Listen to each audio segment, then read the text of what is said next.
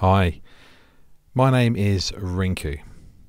I'm here to talk about some work I've been doing with a deaf man who lives in Pakistan.